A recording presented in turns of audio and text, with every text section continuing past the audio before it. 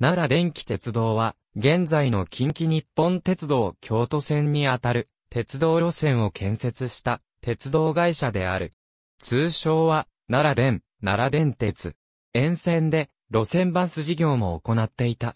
本社所在地は、現在の京都市伏見区、桃山五両前駅前に位置していた。京阪電気鉄道と大阪電気軌道両社及び、関係者により、大部分の株を引き受け、設立。戦後には、京阪、近鉄いずれの路線とも直通運転を行っていたことがあった。その後、京都、奈良の観光開発を積極的に推し進めていた近鉄が1963年にその一環で奈良電気鉄道を合併、その路線を自社の京都線とした。大正時代も終わりになると、阪神電気鉄道、阪神急行電鉄、南海鉄道、京阪電気鉄道、大阪電気軌道の通称、大阪五大電鉄が加わって、一時は七大電鉄となるにより、大阪を中心として各地へ向かう、現在の鉄道路線の多くが整備されていた。京都と奈良の二つのことを結ぶ鉄道は、鉄道省の運営する奈良線が1896年に開通していただけであり、これは、蒸気運転であって速度は低く、列車本数も1日中に往復と少ないので、都市間交通としては不便であった。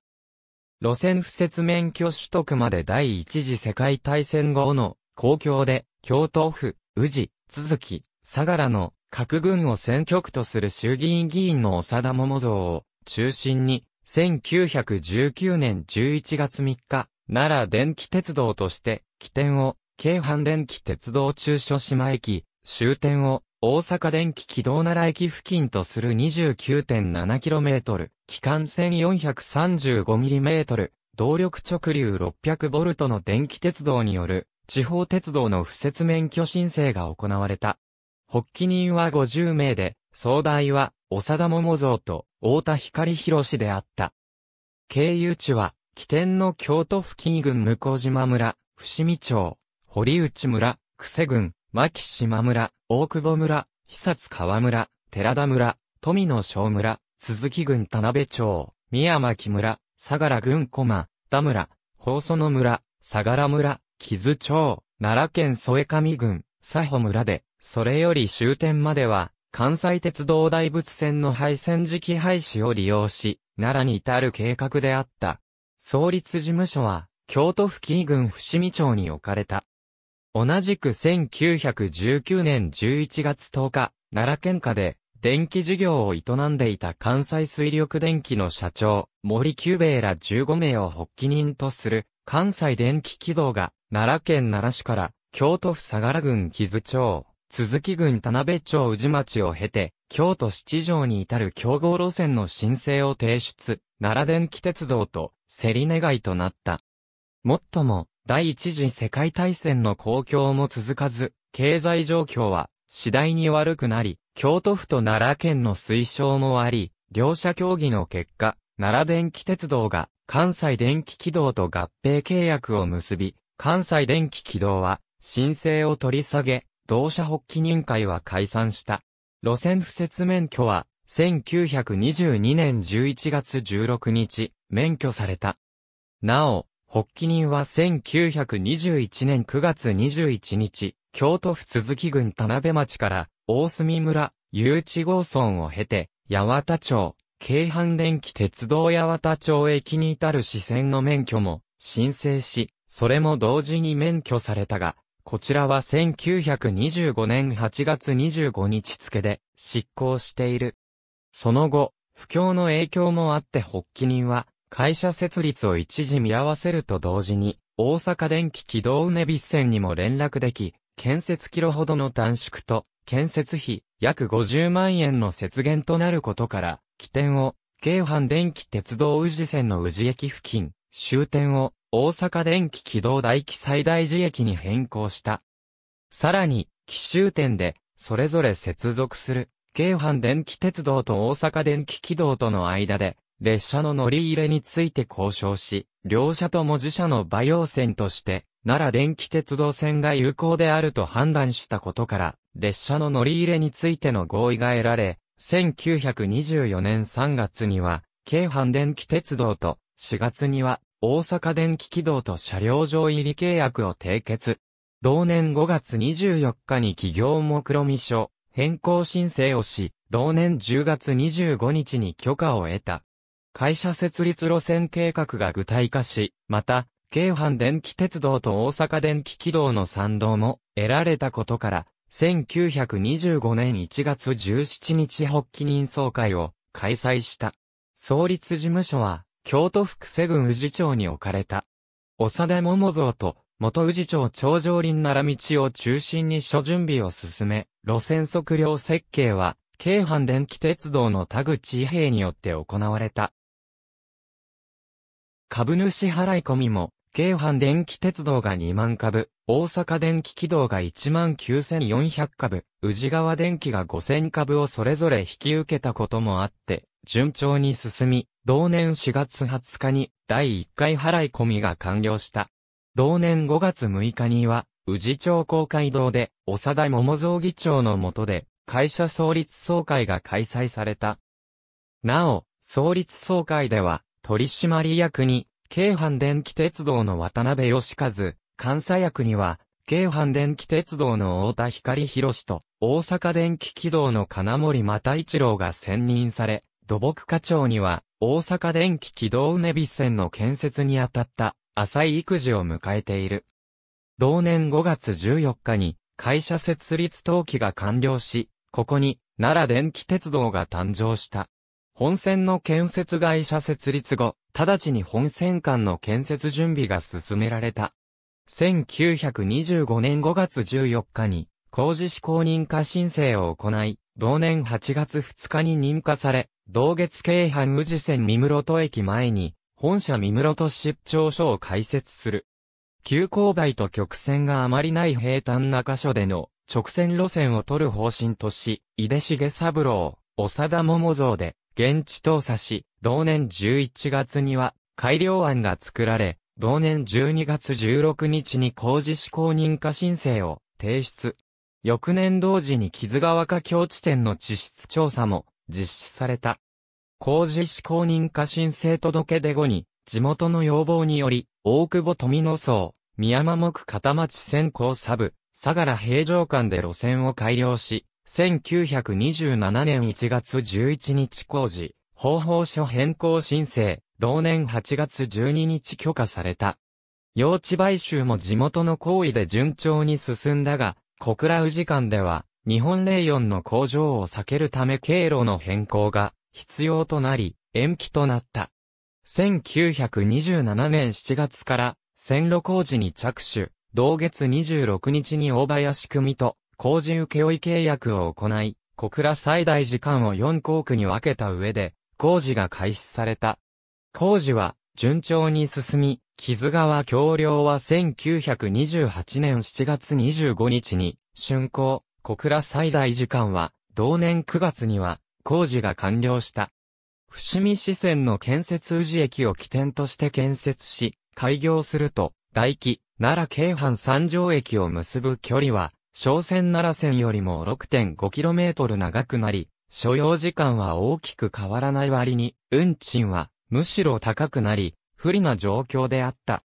大正末になると第一次世界大戦後の不況から好転を見せ、ここで当初の目的であった小倉駅から北進して、京阪電気鉄道伏見桃山駅へ接続、京阪線に乗り入れる計画を立て、1926年2月9日、小倉伏見間の支線不設免許を申請、同年12月15日に免許された。申請経路は、小倉より、小倉池東岸を進み、久世郡、牧島村を経て宇治川を渡り、京阪電気鉄道中所島駅北方 0.5km で、京阪線に乗り入れ、伏見桃山駅に至る 5.6km であった。伏見支線の建設での問題と完成淀川の架橋については、当初は橋脚6基を建て、70フィートプレートガーダー7連の予定であった。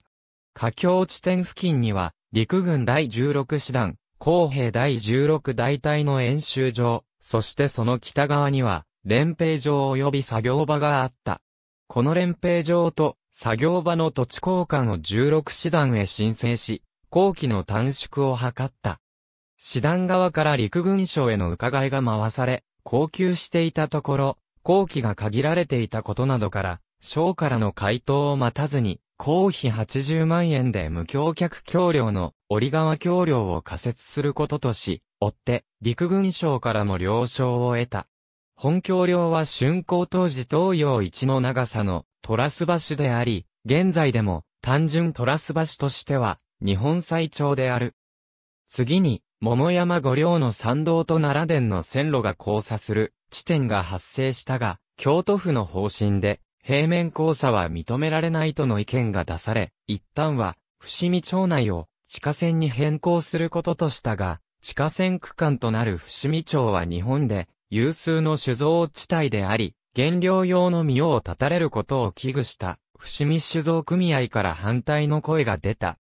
前諸作として、京阪との接続地点を、当初の伏見桃山駅より、以北にすることを決め、前後 0.2km を5メートル切り下げた掘割に、する案も出されるが了解が得られず、延長800メートルの第一伏見高架橋を建設することになった。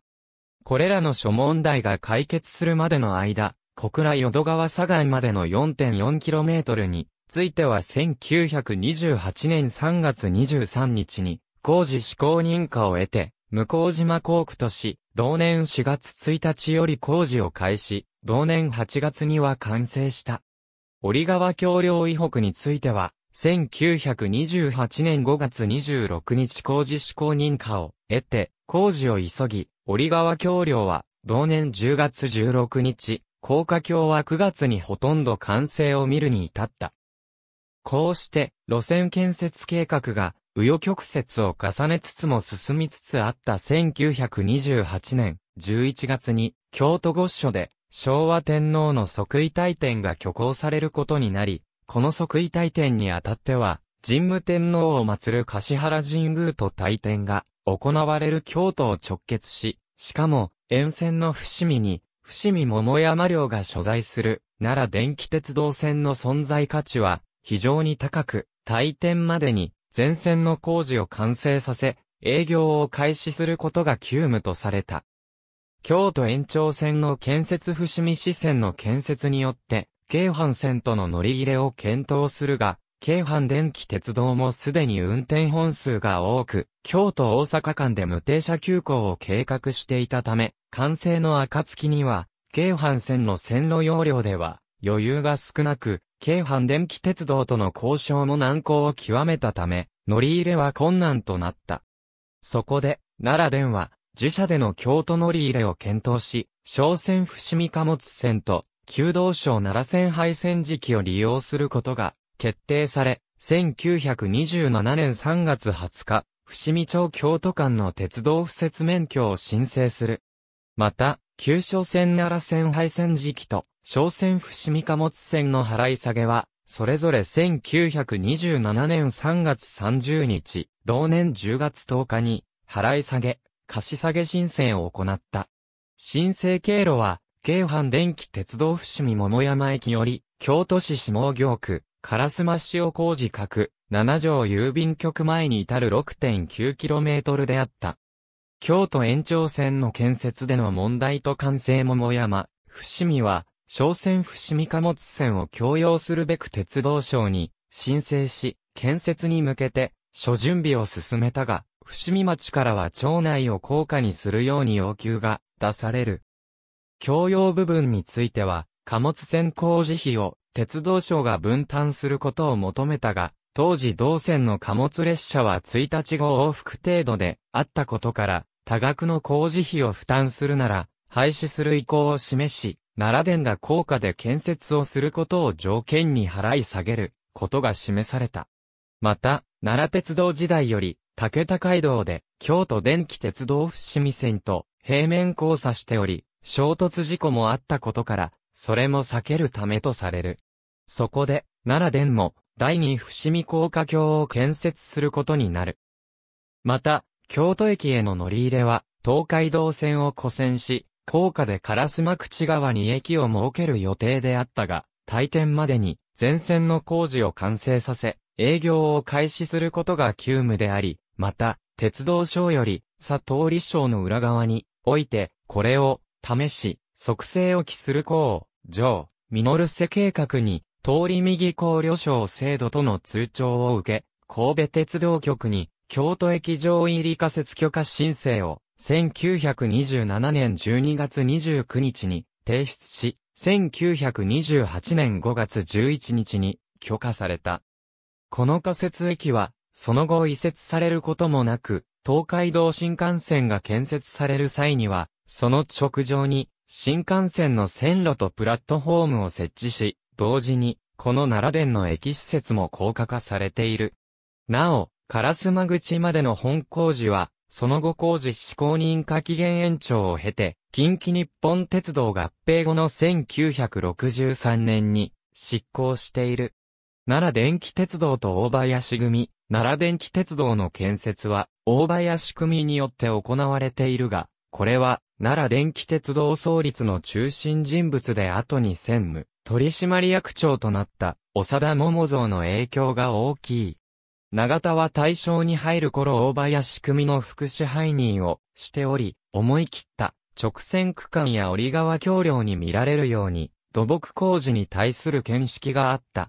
11月3日に、まず本社所在地でもあった、桃山五両前駅から、最大寺駅の間で営業が開始された。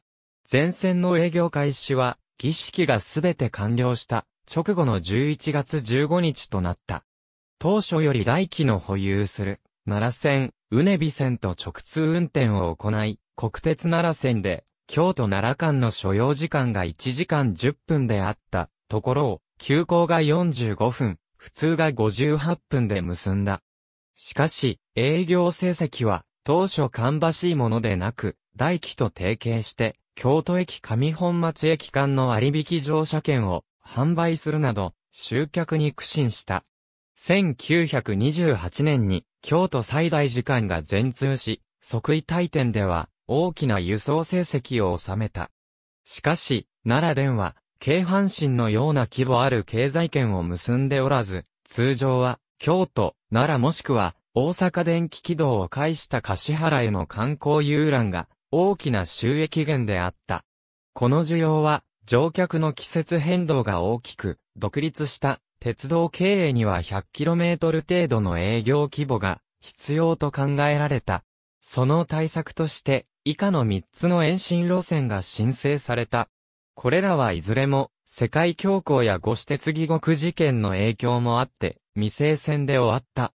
大阪線計画小倉から、北川地郡片野町の支部を経て、玉造までの免許を1927年11月26日に申請し、1929年6月26日に免許取得した。高速運転を行うため、駅の設置数を限ることにしていた。しかし、この頃相次ぎ整理願い路線が申請される。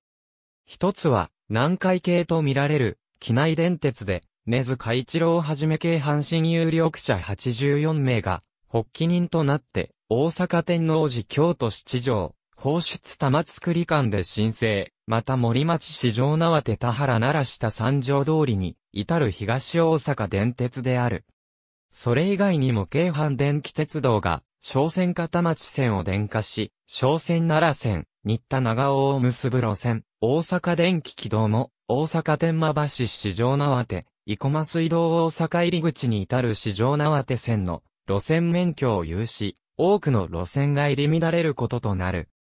奈良電は、長田桃蔵をはじめ、沿線17町村などが陳情するが、機内電鉄や東大阪電気鉄道への免許許可が優勢であることが分かり、免許却下に向けて万全を期すため、東大阪電気鉄道の株の半数にあたる12万株を30万円で、発起人総大多中元7から株式引受権を譲り受け、東大阪電気鉄道が免許されれば、市場縄手より宇治へ別線を出願できるように準備を進めた。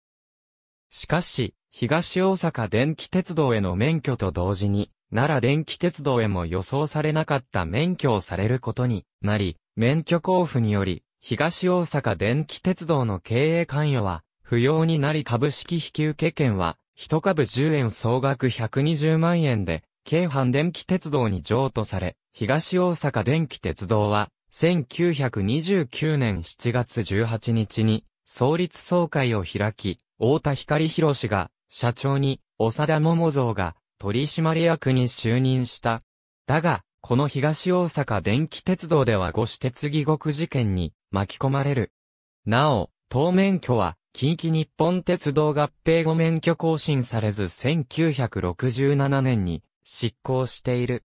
京阪急行電鉄昭和強行や沿線の需要も多くなく、また、折川橋梁など建設費も膨らみ、奈良電の経営は苦しく1930年には、東大阪電鉄と共に、京阪への合併を要請した。しかし、京阪電気鉄道も新京阪鉄道など、拡張しきった事業と強行の影響で配当もままならない状況となり、事業再編を始めていた京阪電気鉄道も、奈良電の要望も受け入れがたく、交渉は流れた。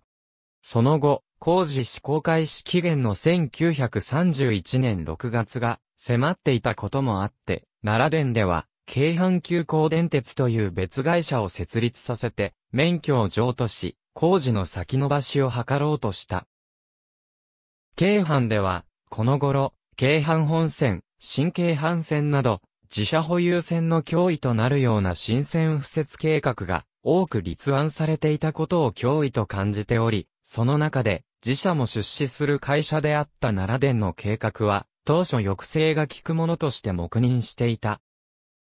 しかし、次第に大阪の別の出資者を入れて独走するようになったことから、後には反発するようになった。奈良電では大気を抑えた上で、かつて合併を見送った京阪を冷ややかに扱い、1932年1月に、発起集会を開いた。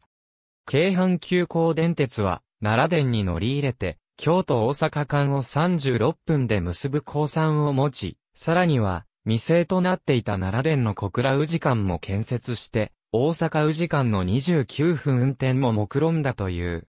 だが4月に、同社の株式割当の4分の1を占めていた、熊沢和恵が関係していた四日市銀行が破綻して、熊沢の株引き受けができなくなったため、設立延期の願いを出すも6月に、鉄道省から不許可の判断が出され、新線建設の計画は失敗に終わった。なお、戦前に取得した小倉玉造間の免許は、京阪、近鉄に対する牽制の観点から戦後も保持され、近鉄に受け継がれた後、ほどなく、執行となった。この執行処置は、京阪が奈良電の株式を近鉄に譲渡する際に、見返りとして決められたとする説が有力である。奈良延長線計画山田川駅平城駅間、宇治起点 24km から分岐しホッケ寺を経て、小線奈良駅西口に至る 4.6km 路線で、自社完結で、京都奈良間を30分で結ぶ計画であった。1927年11月8日に免許申請し、1928年4月4日免許を取得したが、工事着手することなく1942年1月27日、執行している。桜井線計画なら延長線終点より、小線桜井駅を結ぶ 19.7km で、路線は天理まで、おおよそ小線桜井線東側を、桜井までは西側を走るルートで計画であり、当時、桜井宇治山田間を建設していた、三宮急行電鉄に乗り入れ、京都伊勢間を特急運転する計画であった。1928年6月14日に免許申請し、1929年4月4日免許を取得したが、工事着手することなく1942年1月27日、執行している。しかし、西大寺で接続している大阪電気軌道うねび線があり、三宮急行電鉄も大阪電気軌道の合計会社で役員、社員も出向しており、乗り入れ計画には疑問も残る。1940年にはこの年が後期2600年となり、桃山五稜や橿原神宮への参拝が奨励されたため、奈良電も急行電車を多数設定して輸送に努めた。京阪神急行電鉄丹波橋駅と奈良電機、鉄道堀内駅の統合1943年2月6日、奈良電気鉄道と京阪電気鉄道は運輸協定を結ぶ。京阪の丹波橋駅を大阪方面に87メートル移動、大阪、最大時報で両者の線路を立体交差させ、駅には構内地下道を新設、堀内駅を廃止して、共同使用駅に改築するものであった。しかし当局預かりになり、京阪電気鉄道と阪神急行電鉄とが合併して、京阪神急行電鉄になった後の1944年4月24日に、再度協定を締結。同年6月6日、工事方法書変更申請を行うが、選曲の悪化で、資材調達がままならず、奈良電と京阪神急行が交差する部分のうち、大阪方面での立体交差計画を平面交差に、構内地下道を踏切道に設計変更が行われた。しかし立体交差が平面交差に変更されたことは、両者のダイヤ編成に制約を受けることとなった。当局からも、上工場破極力、セメントを、用費ざる構造、都市資材の節減に留意すること指示を受ける。1944年8月2日に許可された。不要不急線指定による嵐山線の単線化などで、確保した資材を転用して着工するが、選曲の悪化で工事が遅れ、完成は終戦後になり、上り線は1945年12月10日、下り線は同年12月20日に完成。翌12月21日より、奈良電京阪神急行間で乗り入れ開始となった。京阪神急行が京阪に、奈良電が近鉄となった後も直通運転は継続されていた。桃山五両前駅、堀内駅間は、桃山五両前駅構内側線として残地し、堀内駅以北は廃線となった。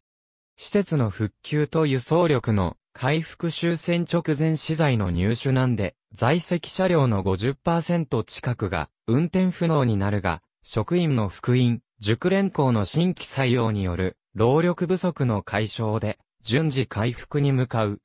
軌道関係においても、老朽枕木、摩耗機場の交換、同床補充を行い、電気関係でも、河川、張り替えなどが行われた。また1948年2月には、電動、制御客車各3両増備、7月京都駅3号線増設が行われた。これらの施設復旧、改良により、戦時中の低速運転は、戦後5回のダイヤ改正により1949年8月には、戦前の車両走行距離で見ると333万キロと1934年から1936年の約40%増の状態まで回復した。戦後、行為輸送は沿線の軍需工場の操業全面停止で激減したが、繊細車の転入や極端な食料危機で主食類を都市へ運ぶ担ぎ屋などが殺到し1947年上期まで急上昇した。沿線開発旅客誘致を促進するため、1950年以降、大久保、小倉に8万平方メートルの宅地造成を行い、住宅経営を行った。経営不振と近畿日本鉄道と京阪、電気鉄道の経営参加の確執1953年9月に、近畿地方を襲った台風13号は、未曾有の災害をもたらした。この台風で宇治川左岸は、折川橋梁下流 0.6km 及び 2.0km の地点で決壊、旧小倉池を中心とする2000ヘクタールに及ぶ地域が浸水し、奈良電気鉄道は、桃山五両前駅から奈良電小倉駅間で延長 2.0km の冠水、久津川、新田編など、全線23カ所で線路路盤流出など大きな被害を受けた。さらに1954年3月には、並行する国鉄奈良線で、ディーゼルカーの運転が開始。また、伊勢湾台風でも大きな被害を受け、度重なる労働争議もあって、経営は悪化。1955年上期には1割だった。株式配当が下期には6分。1958年には無敗に転落するに至った。1959年頃から株主総会のたびに債権問題の質疑応答が繰り返されるようになった。だが、当時の奈良電の株主構成は、京阪電気鉄道、近畿日本鉄道、一般株主が、それぞれ3分1ずつで均衡しており、大株主の京阪電気鉄道、近畿日本鉄道と奈良電の3社で再三にわたる、折衝が行われたが事態は進展せず、奈良電経営陣は、京阪電気鉄道と近畿日本鉄道という同業の大株主の利害関係の衝突に巻き込まれ、独自の経営戦略に基づく思い切った設備投資や沿線開発などで経営再建を図ることもできない状況に追い込まれていった。1958年下期頃から近畿日本鉄道は京都進出を目的とし、同社主導で奈良電の経営再建を進めるため奈良電株の取得を始めた。この結果、株価の最高値は1958年の時点では153円だったものが1962年には755円にまで高騰した。これに対し京阪電気鉄道は1959年5月から今田栄作を取締役に岡林ごとを監査役に派遣する。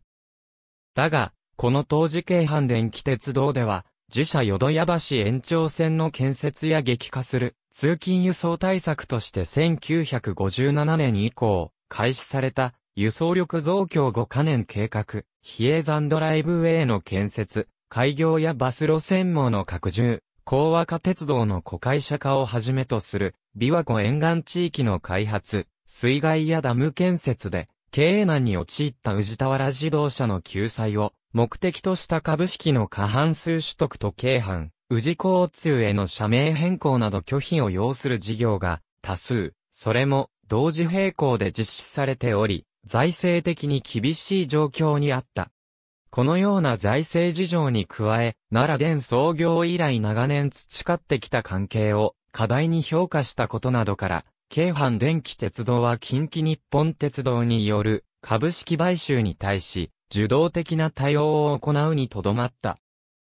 近畿日本鉄道の株式買収が公然化した1960年には、京阪電気鉄道と奈良電は合併に向けた検討を行うが、1961年9月には、近畿日本鉄道約89万株、京阪電気鉄道71万株となり、大阪商工会議所回答、杉道助らによる共有案や当時関西電力社長の大田垣史郎による、丹波橋駅以南は、近畿日本鉄道、丹波橋駅以北は、京阪電気鉄道という具体斡旋案が示されたが、近畿日本鉄道の当時社長であった、佐伯勇は、レールは一本で、二つに分けることはできんとの強い、買収方針は覆らず、大田垣史郎による以下の最終斡旋案で、妥結することとなった。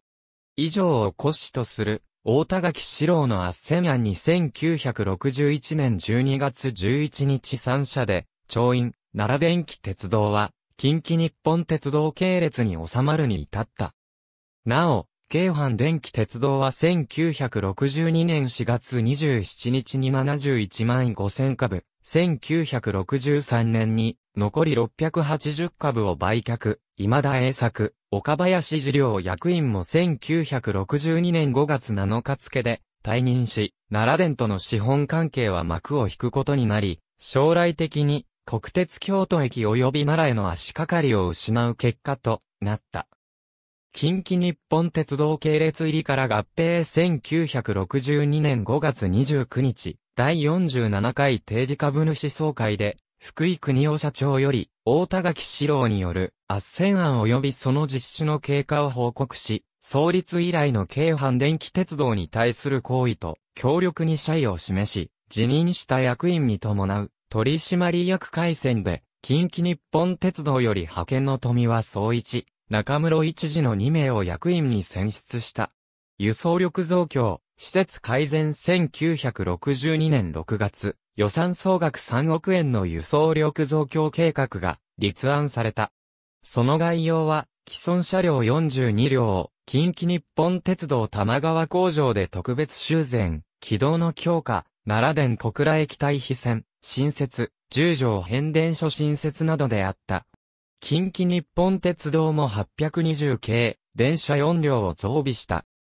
増資と欠損金処理第2室戸台風災害などで生じた欠損金、焼却不足などを1962年9月期決算において1億6620万円を計上し、また、総額3億円の輸送力増強計画の資金調達のため、それに先立つ1962年7月25日の取締役会で増資を決定、570万株を増資、再評価石流金の資本組入れによる無償新株式380万株式、1962年11月1日に、資本金を9500万円から3億8000万円に増資した。関係会社の整理旅客案内、斡旋業を行ってきた有限会社なら、電車営業所は、1962年12月1日関、旧産業へ合併解散。それに先立ち旅行斡旋部門は、11月21日に、近畿日本ツーリストに譲渡した。奈良電タクシーは、京都近鉄自動車のタクシー部門を譲渡され、社名を近鉄京都タクシー株式会社に変更した。また、直営の自動車事業は、京都近鉄観光バスに1963年9月1日に譲渡された。京都近鉄観光バスの乗り合い事業は1967年に貸切事業は1972年にそれぞれ、近鉄本体の自動車部門に吸収され消滅した。さらに、1973年には、京都府南部の路線は、奈良交通奈良営業所に移管され、上駒営業所が廃止となっている。京都営業所が残ったが、京都、奈良間や伏見桃山城関連路線が廃止され、一般路線は、京都市伏見区内の竹田、向島団地周辺のみとなっている。近畿日本鉄道と合併東海道新幹線の開業を控え、沿線開発、輸送体制などを考え、合併による運営の機運が上がり、1963年4月25日合併契約調印を行い、10月1日に合併され、路線は近鉄京都線となった。1963年11月27日、会社解散登記により、名実ともに、奈良電気鉄道の名は消えた。1928年の開業時には、半高性17メートル級車である、デハボ線型を24両、デトボ300系無害電動化車を1両、デワボ500系有害電動化車2両を投入し、その後終戦時までは、クハボ600系、クハボ650型といった増血用の制御車が増備されたにとどまった。戦後の輸送力増加に伴い、規格型車両として、近鉄奈良線も600型と、車体幅などの一部寸法を除く車体仕様を揃えた、デハボ1100クハボ700型が増備され、無害電動化車のデトボ360型を一両新増、さらに湘南型と呼ばれる非貫通で前面に、大型2枚窓を備える、デハボ1300系、1954年に運行を開始した特急電車用の WN ドライブ車であるデハボ1200型とその増備車として同仕様の車体を持つが旧型車からの機器流用による吊り掛け駆動車であるデハボ1350型がそれぞれ製造された。前述のように終戦直後の1945年12月21日から近鉄合併後の1968年12月20日まで、奈良電気鉄道は、京阪新急行京阪線の丹波橋駅に乗り入れて、おり、その上両線を結ぶ連絡線も存在したため、その間は、京阪新急行電鉄、京阪電気鉄道と奈良電気鉄道、近畿日本鉄道の間で、直通運転が行われていた。奈良電の堀内駅を廃止してまで乗り入れ工事を推進した背景には、奈良電の沿線に陸軍の師団や弾薬庫などが存在したことから、軍による空襲時の大体戦確保要請が出されたためという当時の時勢があるが、結果としては戦後に完成したことになる。当初は奈良電から京阪神急行への型乗り入れであったが、1947年4月1日からは、京阪神急行からの奈良電、近鉄乗り入れも開始され、相互直通運転となった。1949年12月1日からは、京阪神急行から京阪が再分離され、乗り入れる鉄道事業者が、京阪神急行から京阪に変更されたが、直通区間については不変であった。その後丹波橋駅への乗り入れと直通運転が廃止となった背景には、それまで両車線とも河川電圧が直流 600V であったものが近鉄京都線の直流 1500V への昇圧が決定したこと、両社協に1968年9月、10月に相次いで独自仕様の ATS を採用したこと、丹波橋駅で両社の路線が平面交差しており、さらに同駅を管理している、京阪側の優先通行とされていたため、特に近鉄側のダイヤ作成時の支障となっていたこと、近鉄京都線に大型車を導入することになったことがある。この分離にあたっては、送電線の関係から乗り入れ開始後も近鉄が旧来の線路用地を手放さずにそのまま確保してあり、問題にはならなかった。1947年に、京阪線、宇治線側から直通運転が開始された当時の運転系統は、おおむね以下のようなものであった。三条駅丹波橋駅大和西大寺駅、近畿日本奈良駅、柏原神宮駅駅、三社乗り入れ京都駅、丹波橋駅宇治駅、二社乗り入れ車両は1の、運用では、奈良電化、近鉄以降。800系や特急車など一部の車両は、対象外、2の運用では、京阪新急行京阪のものを使用していた。一の運用は乗務員の取り扱い上の理由もあり、近鉄合併後も、京阪の車両と共通の東洋電機、製造性デッカー系電動カム軸式制御機を備える旧奈良電車が引き続き使用されたが、一時は当時最新の近鉄820系が用いられたこともあった。しかし820系は2両編成であったため、今度は京阪線内での積み残しという問題が出てしまい、ほどなく、球体に服している。2の運用については、最末期にはすでに一般車に格下げされ、宇治線でも運用されるようになっていた1700系や、時には、カルダン車の初代1800系も使われていたが、ほとんどの場合は、この2形式以外の車両が入っていた。1953年には、三条駅柏原、神宮駅駅間の列車を急行としたが、1956年には、柏原神宮駅駅乗り入れの列車はなくなった。運転本数は、1957年までは、1、2とも1時間あたり、各2往復だったが、その後は1時間あたり、各1往復となった。同時に運転時間帯が、おおむね6から19時台であったものが8から18時台に短縮された。また、1の系統の一部は、急行、準急で運転された。1967年には、朝夕が準急、昼間が普通であったダイヤが、朝夕が急行、昼間が準急に変更された。奈良発着列車の停車駅は、以下の通りであった。当時、京阪本線にも三条発天満橋行以後は、淀屋橋行の準急が運転されていたが、この準急は当時は、寝屋川市駅まで、各駅停車であったので、三条駅、丹波橋駅間では、停車駅の異なる2種類の準急が存在していた。なお2の系統はすべて普通列車として運転された。その他、主に平方パーク利用客向けの臨時列車として、京都駅平方公園駅間急行、平方号などが運行された。これは、直通運転終了直前まで実施された。この乗り入れにおける乗務員は、京阪、奈良電ともに丹波橋で交代することなく、自社の車両でそのままった車線へ乗り入れて、運転を行っていた。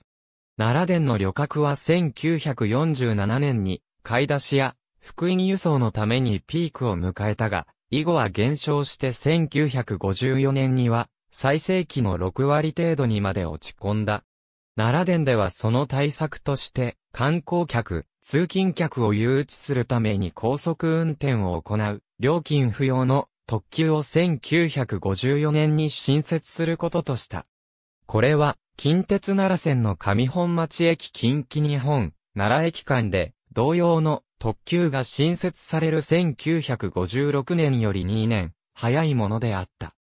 この特急運転開始に伴い、デハボ1200系2両を新造し、さらに1940年に、紀元2600年記念式典等に伴う橿原、神宮参拝客輸送用として製造した、クハボ600系2両を改造、整備し、デハボ1200系クハボ600系の2両編成2本で、運用に充当することとなった。こうして特急は、同年10月23日に5往復体制で、運転を開始した。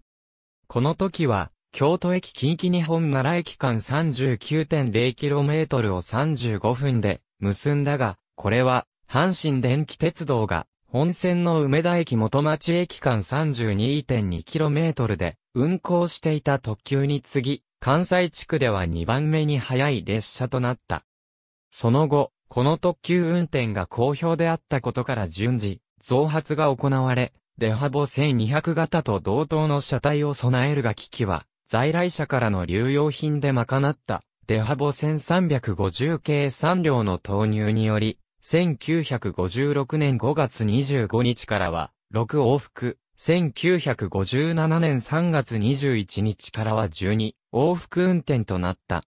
近鉄買収直前となる1963年1月21日からは、2往復が、京都駅橿原神宮駅駅間運行となり、京都駅近畿日本奈良駅間運行の列車は10往復となった。さらに、同年9月21日の奈良電最後のダイヤ改正実施時には、京都駅近畿日本奈良駅間運行の特急が7、往復、京都駅橿原神宮駅駅間運行の特急が6往復となった。なお、当時の停車駅は以下の通りである。